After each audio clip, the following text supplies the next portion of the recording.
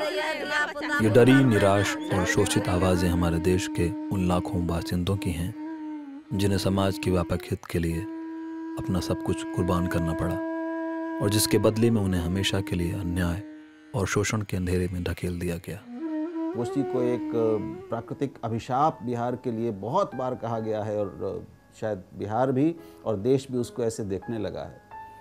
लेकिन इस अभिशाप के पीछे बहुत कुछ हाथ इंसानों का भी है। इंसानी योजनाओं का और इंसानी संवेदनहीनता का और हमारे योजनाओं के बनने और चलाए जाने के तौर तरीकों का भी दुर्भाग्यपूर्ण ये है कि इन लाखों लोगों की बदहाली का जिम्मेदार कोसी नदी की जीवंत धाराओं को बना दिया गया। ये नदी नेपाल के बारह क्षेत्र के पास त्रिवेणी से अपना सफ़र भारत के मैदानी भावों की ओर शुरू करती है।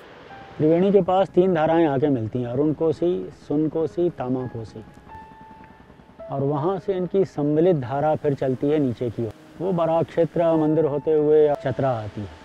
वहाँ से करीब 42 किलोमीटर नीचे भारत की सीमा है। और फिर करीब 270 किलोमीटर कुरसेला होगा। वहाँ तक ही नदी जाती है। भारतीय सीमा के पास ही भीमनगर में कोसी बैराज है। कोसी बैराज और कोसी के तटबंधों का इतिहास कोसी से संबंधित समस्याओं का इतिहास है। तिरपन में जो प्रस्ताव हुआ, उस वक्त ये तय पाया गया कि दोनों तरफ़ तटबंध बनेंगे, एक बैराज बना दिया जाएगा भीमनगर के पास में, और उससे नहरें निकाली जाएँगी। नहर का प्रस्ताव नेपाल के हिस्से में था, चंद्रा कैनाल का। वो सब नहरें हैं, वहाँ बनी हुई अभी भी। और हमारे यहाँ पूर्वी कोसी नहर से सिंचाई करने का करीब सात लाख बारह हज़ार हेक्टेयर ज़मीन सींचने का प्रस्ताव था और पाँच लाख अट्ठाईस हज़ार एकड़ ज़मीन उसको बाढ़ से सुरक्षा देने की बात थी। ये कोसी बाँध का जो निर्माण हुआ था, राजेंद्र भाव देश के प्रथम राष्ट्रपति यहाँ आकर के स्वयं मिट्टी डाले थे और तब इसके बाद लोगों ने मिट्टी डालना शुरू किया था। तो उन्होंने कहे थे कि ये जो हम कोसी बाँध बना रहे हैं तो उसमें एक आँख मेरा इस, इसके अंदर के लोगों के लिए ही रहेगा। कोसी का पानी जो कि पहले पूर्णिया से लेकर के सहरसा तक अलग अलग धाराओं में बट जाया करता था, उसमें ये चक्कर ज़रूर होता था कि मुख्य धारा कोई भी बनती थी और उसका क्रम था, जिसमें पता था लोगों को कि अब नदी ने पानी फेंकना शुरू कर दिया है, अब ये इधर से गुजरेगी। तो उसकी तैयारी रहती थी लोगों की। तटबंध बन जाने के बाद वो सारा का सारा पानी उसी 10-11 किलोमीटर के अंदर सीमित हो गया। तो जो पानी करीब करीब 160 किलोमीटर या 180 किलोमीटर के विस्तृत क्षेत्र पर फैलता था और उनकी धाराओं से निकलता था, वो पानी अब 10 किलोमीटर में महदूद हो गया। और वो सिर्फ़ पानी ही नहीं हुआ, उसके साथ साथ आने वाली मिट्टी भी हुई। जैसे जैसे तटबंधों का सत्य और परिणाम सामने आने लगे, लोगों के पुनर्वास की आवाज़ें उठने लगी, क्योंकि नदी के सक्रिय मार्ग में रहना जल समाधि लेने जैसा था। उन्नीस सौ सत्तावन में तटबंध पर काम शुरू होने के दो साल बाद, जबकि तटबंध करीब करीब जमालपुर पार कर रहा था। तो ये तय हुआ कि एक पुनर्वास की योजना बनेगी, जिसमें लोगों को बाहर खेती की ज़मीन तो नहीं दी जा सकती, लेकिन रिहायशी ज़मीन दी जाएगी। ये संगठित अपराध था, या फिर विकास के नाम पर चल रहा सामाजिक षडयंत्र, जो इन परियोजनाओं में उन प्रभावित लोगों की पुनर्वास की चर्चा भी नहीं थी, जिन्हें अपना सब कुछ कुर्बान कर देना पड़ा।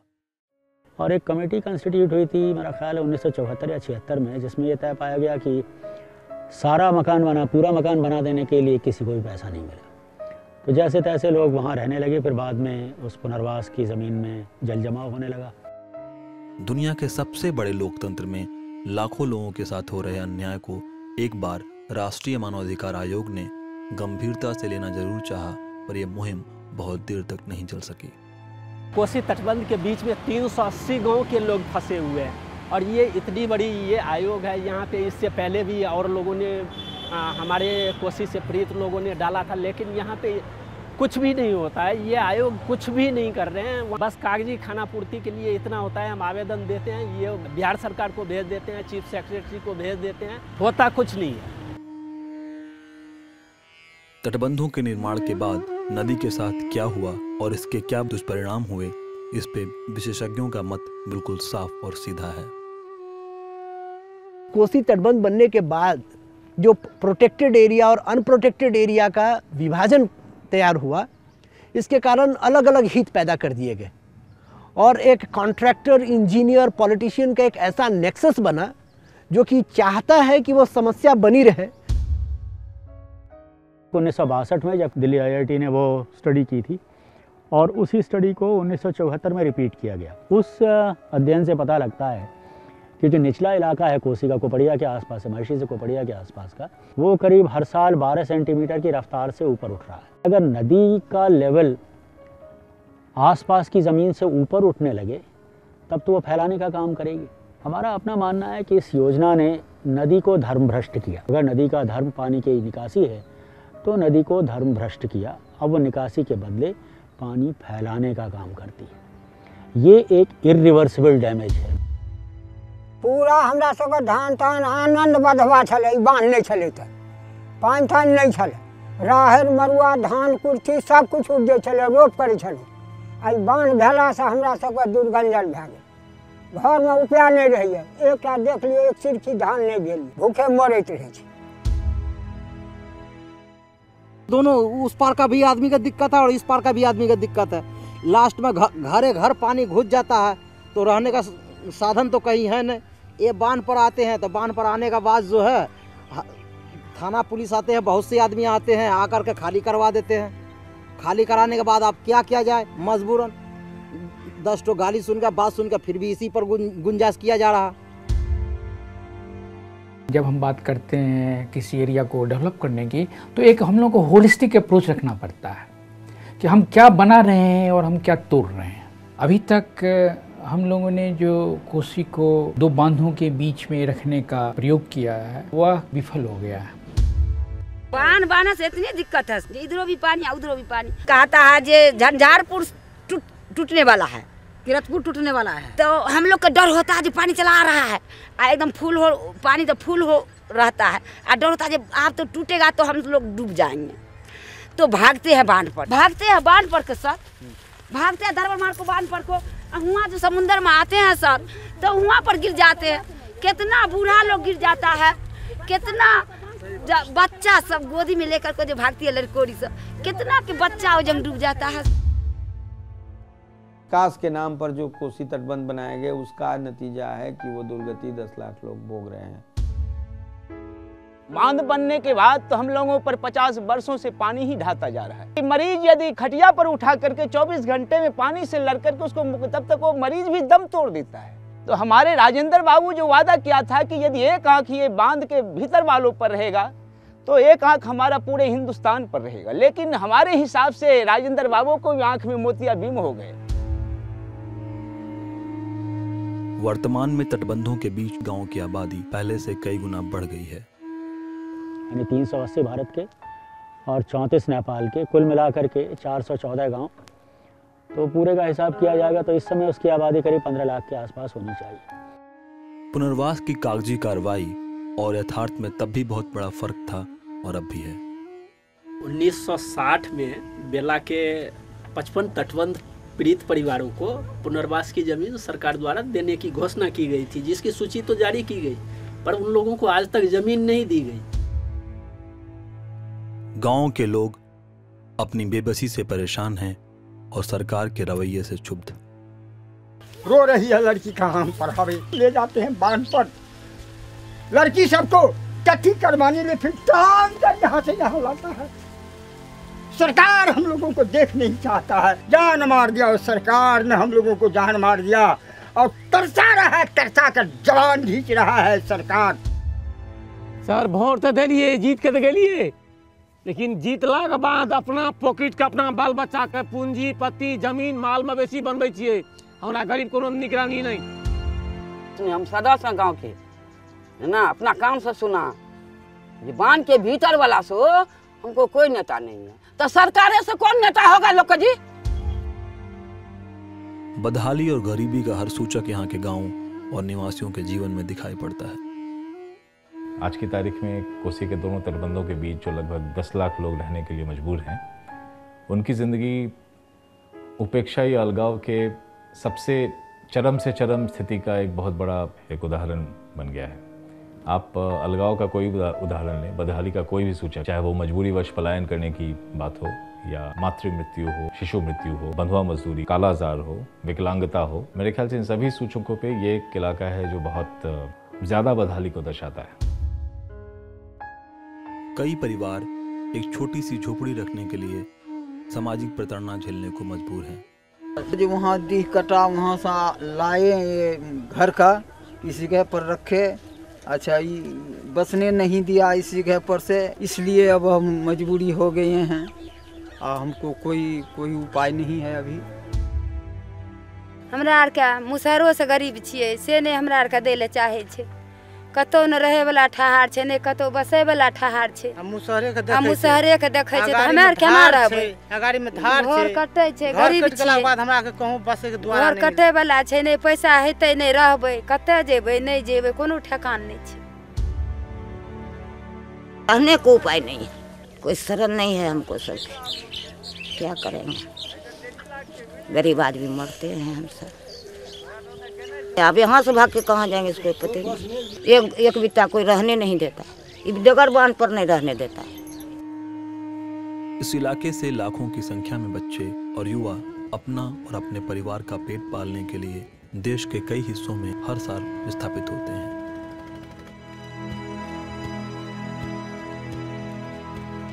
बेटा का बेटी का भेजता है पंजाब कमा कर लाते हैं तब खाते हैं बाँध के भीतर वाला। सरकार से कोनो कानून है? अभी जा अभी आया आप लोग सब तो हमको लोग सबको दुख बांटेगा नहीं बांटेगा।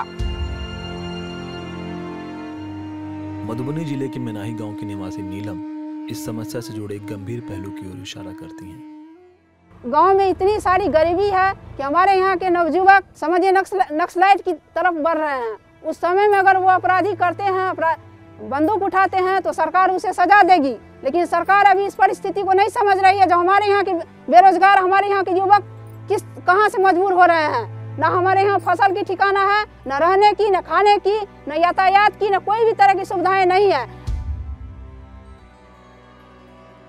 जब 2008 में कुशहा के पास कोसी का तटबंध टूटा तो बिहार का एक बड़ा हिस्सा जलमग्न हो गया और इसे राष्ट्रीय आपदा करार दिया गया। पर कोसी के तटबंधों के बीच रहने वाले लोगों के लिए परिस्थिति नई नहीं थी। कुसाह में जो हुआ वो हम लोगों ने देखा है सभी ने देखा है। उसकी याद ताज़ा है लेकिन उसके पहले सात बार ये और तटबंध को तोड़ चुकी है। पहली बार उन्नीस में जिस साल आ, ये बैराज बना था इकतीस मार्च को उसका इनाग्रेशन हुआ। और जुलाई के महीने में 20 जुलाई के आसपास नदी ने डलवा के पास पश्चिमी तटबंध तोड़ा। फिर उन्नीस सौ अड़सठ में आ, उसके बाद इकहत्तर में टूटता है भटनिया के पास में अस्सी में टूटता है बहुअरवा के पास में चौरासी में नौहट्टा में इक्यानवे में फिर जोगेनिया नेपाल में और 2008 में फिर नेपाल में तीन बार नेपाल में और पाँच बार भारतवर्ष में तटबंध टूट चुका है। अभी जो 2008 में कुसा टूटा उसके लिए सरकार ने पूरे विश्व को उतार दिया वहाँ। लेकिन आज हम लोग जो 50 वर्षों से डूब रहे हैं उस पर कोई नहीं उतारा जाता सिर्फ़ कभी काल किस्मत के रूप में रिलीफ दे दिया जाता एक बोरा चावल। साल भर के लिए। क्या कभी इतने सालों में, इतने दशकों में, वो जो 12 से 15 लाख लोग जो तटबंधों के बीच रहते हैं और बार बार प्रभावित होते हैं, उजड़ते हैं, मरते हैं, टूटते हैं, उनको इस सोच की प्रक्रिया में, इस निर्णय प्रक्रिया में शामिल किया गया है? क्या उनके इतने सालों और दशकों के अनुभव का, उनकी उस उन यंत्रणा का, उनकी दुर्दशा का, उस अनुभव से कोई लाभ लिया गया है? उस अनुभव से कुछ सबक लेकर योजनाओं को बेहतर बनाने की कोशिश की गई है। इसका कोई प्रमाण हमें नहीं मिलता। कितना विषादपूर्ण है कि इन सभी तथ्यों के बावजूद हमारा तंत्र कोसी की बाढ़ को प्राकृतिक आपदा करार देता है। आपदा प्रबंधन और बाढ़ नियंत्रण जैसे शब्दों का व्यापक प्रचार किया जाता है। कोसी प्राधिकरण भी है कोसी बजट भी आता कोसी का फंड भी आता सिंचाई विभाग भी आती है। लेकिन ये सारा कुछ जो है ये फ़ाइल में रहते यहाँ ज़मीन पर कोई इसका असर दिख, दिखता नहीं। तो उन्नीस में कोसी पीड़ित विकास प्राधिकार बना। जो विकास प्राधिकार है वो तो मरा युवा पैदा हुआ था। उसके पीछे उसको चलाने की कोई नीयत नहीं थी। तो इस योजना से जो कुछ भी फ़ायदा हुआ किसको हुआ क्या हुआ वो एक विचारणीय प्रश्न है। कि वो जो तटबंध बने थे, उससे कहा गया था कि दो लाख चौदह हज़ार हेक्टेयर ज़मीन को बाढ़ से सुरक्षा देंगे। आप सरकार के रिकॉर्ड्स खंगालिए तो कहेंगे कि एक लाख बयासी हज़ार हेक्टेयर ज़मीन जल जमाव ग्रस्त है कोसी में, पूर्वी तटबंध के पूरब में, और तिरानवे हज़ार हेक्टेयर ज़मीन पश्चिमी तटबंध के पश्चिम में, वो जल जमाव से ग्रस्त है, और करीब एक लाख बीस हज़ार हेक्टेयर ज़मीन तटबंध के अंदर गई। तो इन सबको जोड़िए तो जितना इलाका सुरक्षित होने वाला था, उससे दुगना तबाह हो गया। अब निकाल लीजिए आप अपना बेनिफिट कॉस्ट रेशियो ऐसा नहीं है कि लोग बाढ़ नियंत्रण और आपदा प्रबंधन के छलावे को समझ नहीं रहे हैं। रिलीफ लिख कर गया है बाढ़ सर! रिलीफ ले गया लिख कर। फुसलाया। रिलीफ रिलीफ सरकारी तो कुछ नहीं दिया आखिर तक। कुछ नहीं दिया है। देवो किया तो एक बड़ा को चावल आथी गेहूँ दे दिया बस उस दिन से बंद कर दिया साथ ही।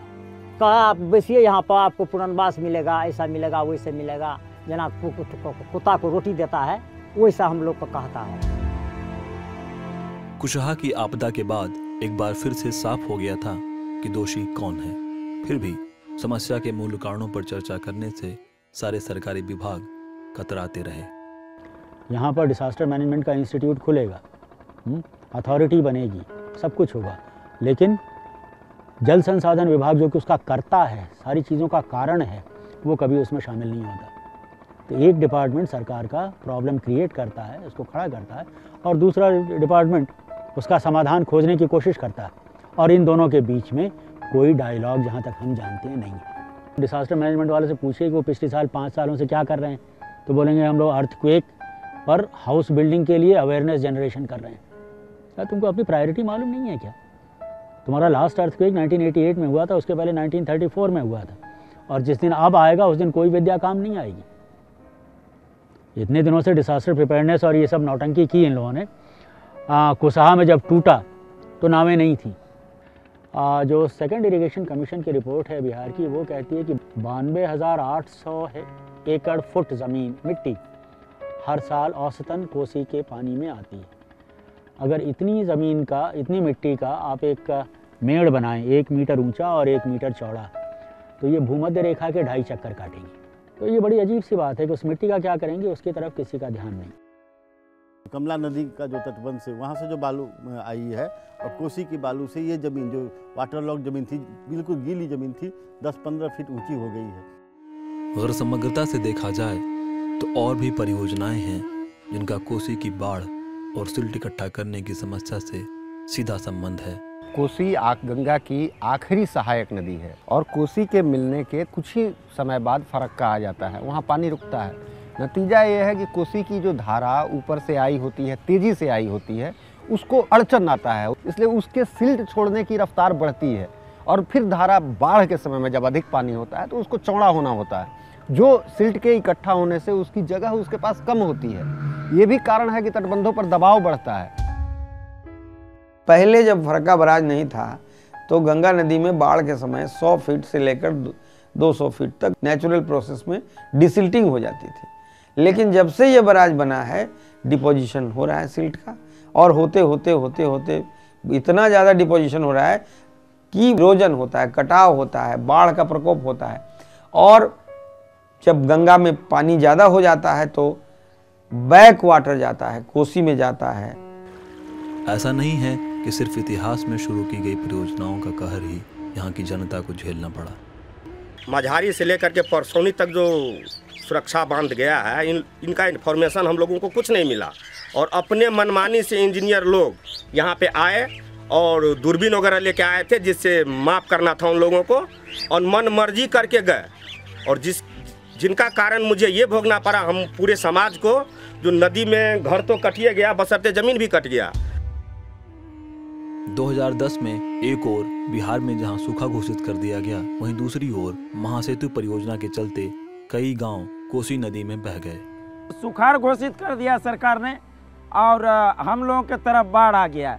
ये जो महासेतु के लिए जो ये कलोजर बाँध बनाया गया है, इसके बाद से हम लोगों के गाँव में जो है पानी भर गया। ढोली है। ढोली में आपको डेंगराही, मावड़ा, लगुनिया, कटैया झौड़ा ये सारे गाँव है। हमारे बननिया में और ही सनपथा सनपथा, टेना, टोला नेहालपट्टी गोट बननिया ये सब सारा जो है बह गया। कोसी नदी पर एक महासेतु बनाने की परियोजना। तो ये परियोजना काफ़ी महत्वाकांक्षी है, शायद बहुत लोगों के लिए महत्वपूर्ण भी है। लेकिन इसके कुछ तकनीकी पक्ष हैं जो चिंताजनक हैं। कोशिश एक ये हो रही है कि कोसी नदी को, जो एक बहुत ही व्यापक और भयावह नदी है, जिस, जो हमेशा अपनी मार्ग बदलने के लिए जानी जाती है उसे दो किलोमीटर से भी कम, एक लगभग एक दशमलव आठ किलोमीटर के एक संकरे मार्ग से होकर गुजारने का प्रयास किया जा रहा है। नदी को इस बहुत ही सकरे मार्ग से गुजारने की कोशिश की वजह से पानी का स्तर काफ़ी बढ़ जाता है। ये स्तर इतना ज़्यादा हो गया कि लगभग इस महासेतु से सटे लगभग 45 गाँव के लगभग पचास हज़ार लोगों को अचानक ही अपना घर बार छोड़कर उन्हें दूर दराज के इलाकों में रास्तों पर और बांधों पर शरण लेने की स्थिति बन गई। लगभग 45 गाँव पूरी तरह से पानी के अंदर आ गए और इसके लिए उन्हें किसी तरह की पूर्व सूचना या इससे जो क्षतियाँ हुई, उनके एवज में किसी तरह के मुआवजे की पेशकश नहीं की गई। हम लोग को पता ही नहीं चला जो कब पानी छूटा क्या हुआ नहीं हुआ। जब अचानक पानी आया बाढ़ आया तो कितना घर डूब गया कट गया भस गया। आदमी कितना कट गया कितना भूख से मर गया बहुत कोई लेकिन देखने वाला नहीं है। आज भी तटबंधों के भीतर के गाँव देश के प्रतिष्ठित सरकारी विभागों की अवहेलना के शिकार हैं। इस पुल को बनाने में central water and power research station Poona national highway, railway, Ganga flood control commission, फिर central design organisation, water resource department, government of Bihar, ये इतने बड़े बड़े एजेंसी इन्वॉल्व हैं इस पुल के बनाने में, जिसके ऊपर में पूरे देश की विकास की ज़िम्मेदारी है। अब देखिए ये लोग पुल जो बना रहे हैं, दो से तीन साल लगाया है इन लोगों ने स्टडी करने में। इस स्टडी में तटबंध के भीतर करीब करीब दस लाख लोग हैं। उस स्टडी रिपोर्ट में कहीं भी एक शब्द नहीं है कि तटबंध के भीतर जो गाँव है, जो लोग हैं, उसके ऊपर क्या इम्पैक्ट होगा। ये इनका एटीट्यूड है। भगवान जाने कि ये राष्ट्र स्तर पर किस तरह के काम करते होंगे। मुझे तो लगता है कि इनके काम करने की जो प्रोसेस है मेथड है कल्चर है, उसकी जाँच होनी चाहिए। हमारे डोली पंचायत में करीब पाँच छः बच्चे डूबे हैं और यहाँ बनेनिया में भी दो तीन बच्चे डूब गए। कि इतने बड़े लोग पचास हज़ार आदमी जब तक हमको पुनर्वास की व्यवस्था सरकार की ओर से नहीं किया जा सकता, हम लोग कहाँ अपना सर छुपाएँगे? ये गवर्नमेंट इंडिया के आदमी आते हैं और बोलते हैं कि इसको खाली करो। तो फिर मैं कहाँ जा सकता हूँ अपने बाल बच्चा को लेकर के? ये आप सुन लीजिए कि हम लोग क्या बिहार के रहने वाले नहीं है, भारत के वासी नहीं है। फिर हमारे साथ सौतेला व्यवहार क्यों? जिन आंकड़ों के आधार पर इन तथाकथित विकास परियोजनाओं का निर्माण होता है उन आंकड़ों के प्रति गैर जिम्मेदाराना रवैया सरकारी विभागों की भूमिका पर एक बड़ा प्रश्न चिन्ह खड़ा करता है। तो रिकॉर्ड कीपिंग जो है वो निहायत घटिया मैं ये नहीं कहूँगा कि ख़राब है घटिया है जिस पर यकीन नहीं किया जा सकता। कोसी की जनता की समस्या सिर्फ़ बिहार के लिए ही नहीं बल्कि हमारे देश के लिए भी चुनौती है। सकते हैं जो आपको कितना परेशानी कोई सरकार हल नहीं कर सकते हैं। नई सरकार मुआवजा दिया है। हम लोग को जो इस बाँध से पहले तो सूखाग्रस्त घोषित किएगा पहले तो फिर धान का जो बाढ़ आया बाढ़ से चपेट में पूरा फ़सल का धान का नुकसान हुआ। या इस गाँव का लोग जो है हम तो खास करके ये बताना चाहेंगे सरकार कुछ मांगना नहीं जानता ये लोग। हाँ। बाँध का भीतर का लोग है। जैसे कि बाहर आप जाइए पंजाब हरियाणा के लोग है जो नारा लगाते हैं। बाज़ार बंद करते हैं। इस गाँव का लोग ये करने नहीं जानते। हैं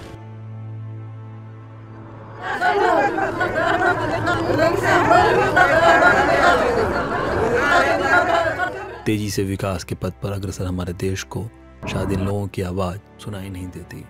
बिहार के इतना बड़ा सरकारी अमला है बिहार के इतने संवेदनशील राष्ट्रीय अंतर्राष्ट्रीय स्तर पर प्रसिद्ध और सम्मानित मुख्यमंत्री हैं। इसका जवाब क्यों नहीं खोजा जा सका है? ये बड़े सवाल हैं। उम्मीद करता हूँ कि बिहार का नया निज़ाम, बिहार चलाने, बनाने वाले लोग इन चीज़ों पर भी सोचेंगे और कुछ करके दिखाएँगे।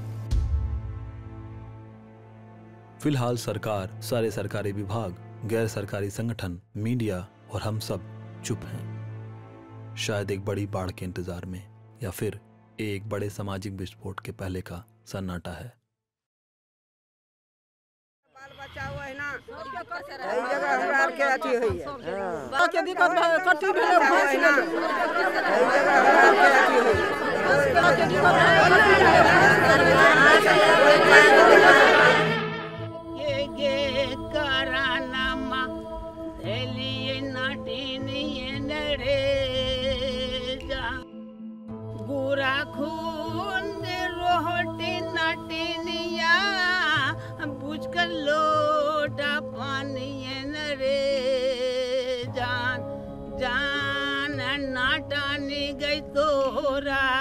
यह जू मिल तो सीना दुआर बिन रे।